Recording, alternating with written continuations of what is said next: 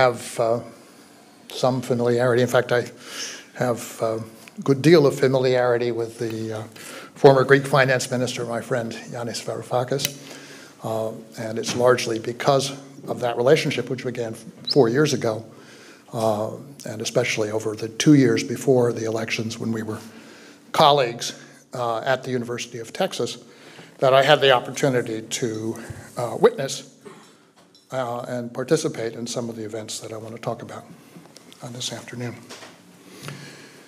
There was, as you may possibly recall, an original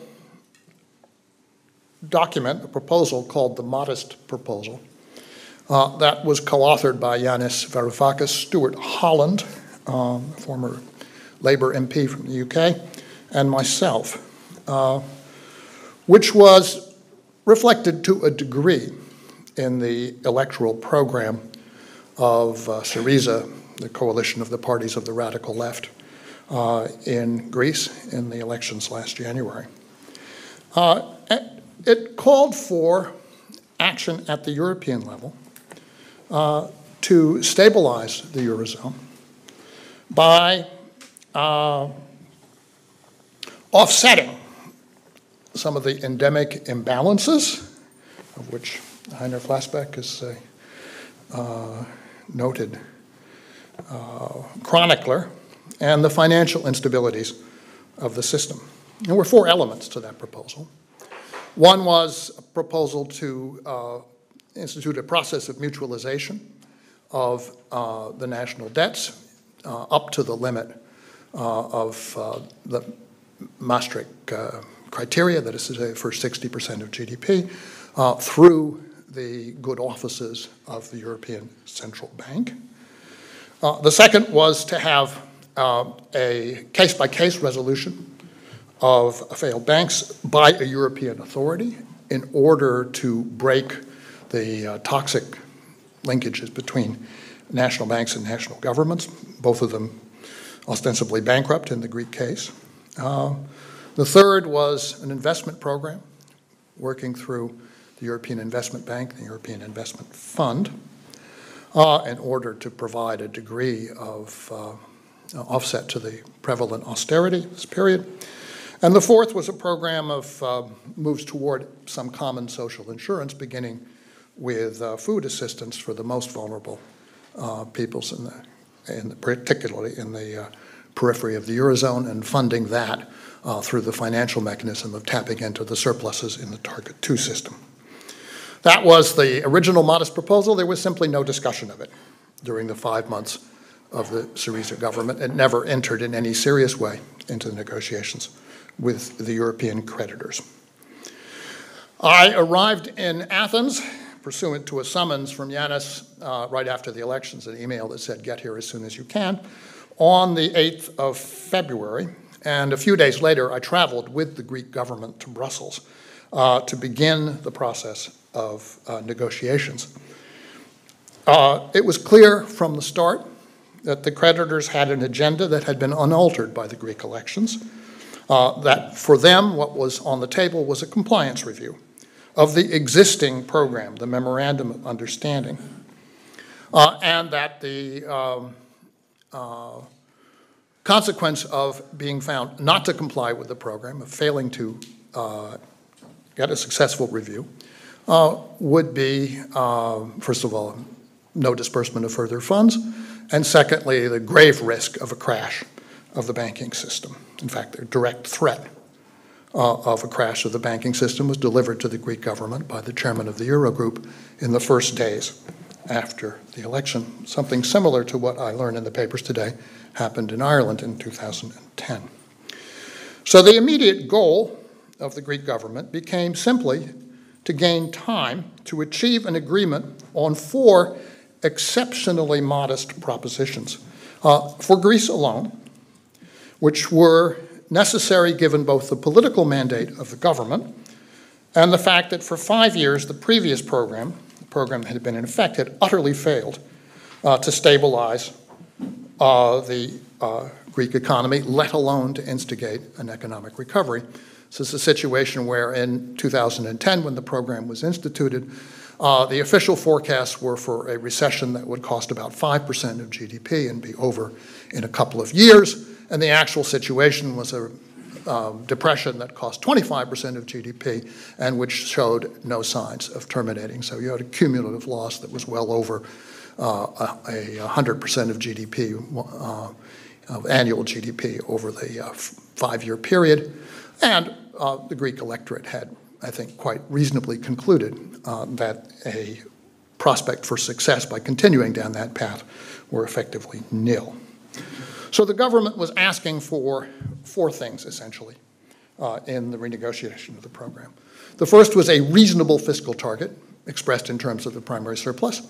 Uh, The demand previously had been for 4.5%. That was uh, obviously not going to be achieved. And there was a criterion of basic honesty, which was involved here, the Greek government being led, in this case, by the finance minister, uh, who was an economist with know, reputation for honesty, uh, could not sign on to a um, set of targets which it knew it would be violating very soon. Uh, secondly, uh, a return to basic uh, rights for uh, collective bargaining, basic labor rights, and a, at least in the line with the standards of the International Labor Organization, which had been basically abrogated in Greece uh, by the terms of the memorandum. Uh, thirdly, protection for the most vulnerable, uh, frail, and impoverished of Greece's pensioners, many of whom were receiving um, around 350 euro a month. The median pension in Greece is 650 or so, which is just barely above the poverty line. So there was a large group of people for whom the memorandum dictated additional cuts uh, from a very low base, uh, and the government uh, had taken the position that it would not go along with those cuts. Uh, and fourthly, a position with respect to privatizations. It was a left wing government, It was ostensibly opposed to privatizations uh, as a matter of principle, but it did not take that position in government. It took, merely took the position that while the government could not continue to run all of the commercially realizable assets that it had, it would also be very unwise to put them all on the auction block at the same time uh, for the very simple reason, I think, known to any economist, no matter how neoclassical or dim-witted, that if you put everything for sale at once, you get a very low price. Uh, and the uh, uh, uh, evidence on that was very clear. The privatization programs under the memorandum had yielded far below the revenue projections. So those were the four points. Uh, there were no, there was no Keynesian program, no large deficit in the uh, projections, no jobs program, uh, no demand for no strings attached money. There was a great deal of agreement with what the uh, uh, with other provisions of the memorandum, actually. There was nothing, in fact, noticeably left wing uh, about this particular uh, government or its positions, except for the, its name and its political background. The Greek government was prepared to sign a new agreement. It wanted merely to change the most toxic, destructive, uh, and uh, unsuccessful features of the old one. in the background, later on, there would also have to be a discussion over restructuring of the Greek debt.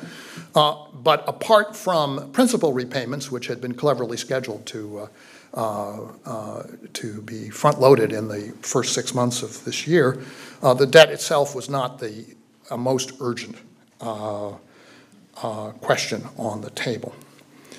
Um, the only thing that really drew from the modest proposal that the Greek government did early on was to institute a um, kind of a, an electronic food stamp program, uh, 200 euro a month for the most vulnerable citizens to buy food, a food card. So that was one thing, was which actually part of what I had contributed to the modest proposal that did get into uh, law, the humanitarian bill. Uh, and that was done over the objections of the creditors who uh, complained that it was a unilateral action. The government also had ideas about tax collection, about how to uh, uh, help people clear, particularly people who had modest arrears by uh, instituting an installment plan, and that too was enacted over vigorous creditor objections. The result uh, was four months of discussions which were called negotiations, but were not really negotiations. Uh, they were pseudo-negotiations, if you like, during which time the creditors made no concessions to speak of. They allowed themselves to come down by one point on the target for the primary surplus from 4.5 to 3.5%, replacing an utterly unrealistic target with a also utterly unrealistic target. Uh, they destabilized the Greek banking system uh, by a drip drop approach uh, to the emergency liquidity assistance which became the sole source of support for the Greek banking system once the waiver that permitted Greek banks to finance themselves at the ECB was canceled on the 4th of February. Uh, this was at a time when interbank loans lending ground, uh, was withdrawn, so the Greek banking system became ever more reliant on the ELA as time went on. I think this is also an experience which uh, was uh, felt in Ireland some years before. They engaged, as I'm sure you're all aware, in a campaign, which can only be described as a vicious campaign, of, um, um, of leaks and of defamation, um, aimed at, in particular, at Yanis Varoufakis, but at the Greek government generally, uh, effectively ignoring very substantial proposals which have now been made public that the Greek government put on the table and allowing the press, and particularly the Anglo-Saxon press, uh, to report that the Greeks were wasting time, not making proposals, and so forth. Uh, the, uh, meanwhile, they drained or allowed the Greek government to drain itself of financial reserves, as the government made three and a half billion euro in payments uh, without receiving any um, new funds help finance them, basically by drawing down every reserve that the state had, also university and hospital reserves. And they consorted with the opposition and repair, re, prepared a replacement government, uh, hoping that the political support for the uh, Syriza government would collapse, which in fact it did not, somewhat to our surprise. But in any event, they ran out the clock on what had, was the new June 30th uh, deadline. And of course, the drama that came on at that point, the referendum, the referendum result on the 5th of, the referendum was called on the 27th of June. Referendum uh, held on the 5th of July, and then uh, the uh, additional escalation that followed, uh, resulting in the capitulation of the government. And the capitulation of the government was followed by uh, its internal collapse as the left platform left. And now we are in the process of effectively not only the dissolution of the Greek political system, but to a certain degree, the dissolution of the Greek state. Uh, the Slovakian vice Prime minister describes it as a protectorate, but it is in fact a regime of asset liquidation and uh, dispossession, uh, com combining the policy features of the previous regime, basically unaltered, with continuous time oversight, that is to say, reviews every quarter of compliance, and an element of uh, I would describe it as gratuitous collective humiliation and punishment for the impertinence of having uh, objected uh, to the results of the regime over the previous five years. Uh, just incidentally, as the Greek state is being expected to act as the front line uh, in the refugee crisis, as everybody knows.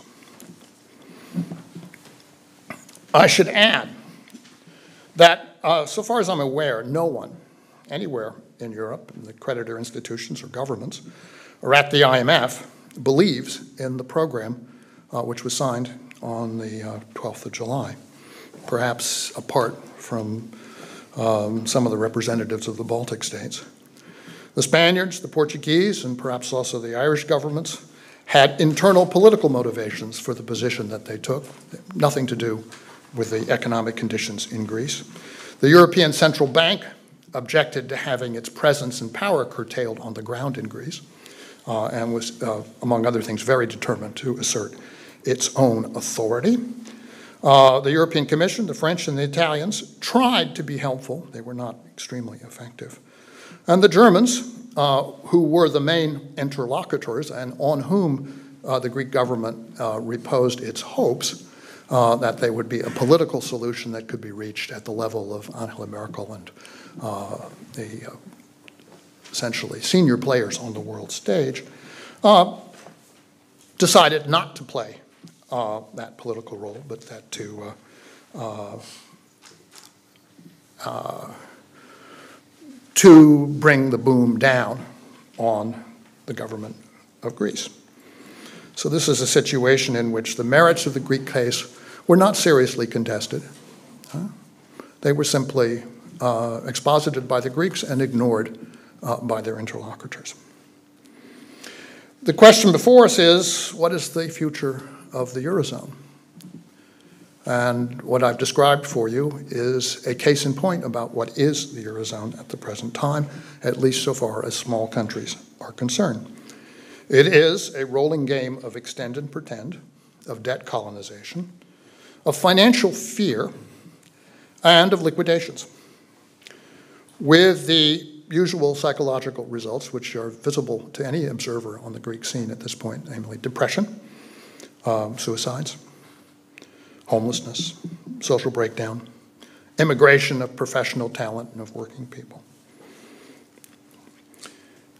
The idea appears to be, in some quarters, that if a sufficiently strong dose of this uh, treatment is meted out to one country that can be portrayed uh, as obstreperous, uncooperative, unreformable, and otherwise defective, which is essentially the image being given of Greece in the larger world, uh, then that will discourage the others.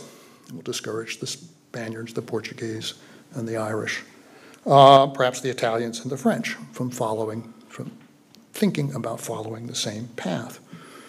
And possibly that calculation is correct. Uh, certainly, the path that Syriza took, uh, the government of Alexis Tsipras took, which was to engage in good faith negotiation with the, uh, in the context of a complete commitment to maintaining uh, its position in the European Union and in the Eurozone, a commitment consistent with the overwhelming view of the Greek public, including two thirds of the people who voted no in the referendum, according to opinion polls.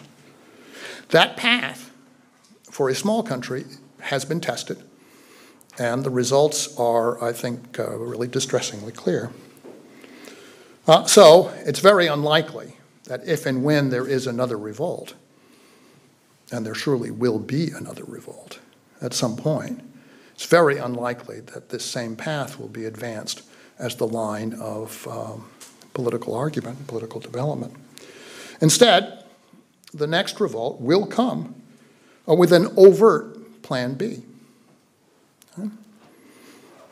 The, uh, not merely the secret Plan B, uh, which, in fact, I was asked to and prepare and did prepare uh, in uh, an atmosphere of, of uh, exquisite secrecy. Uh, we were quite proud of that, considering the reputation of the Greek finance ministry for talking too much, uh, that nobody learned about it until after, until we chose to reveal it.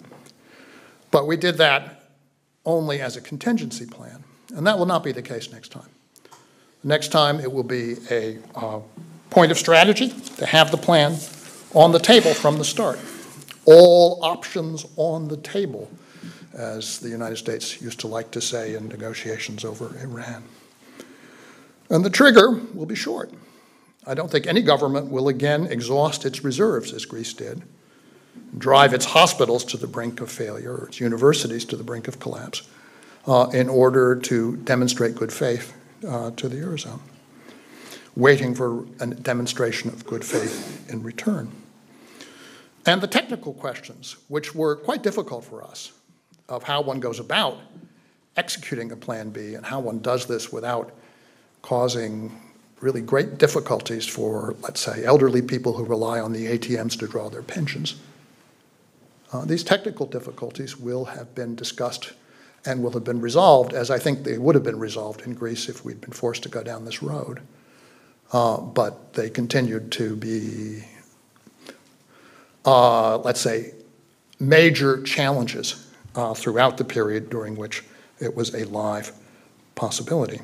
Uh, anyway, those questions will most likely be seem much more clear to the next uh, um, the next rebels to come along, and they will therefore have a roadmap uh, which the Greeks did not originally have.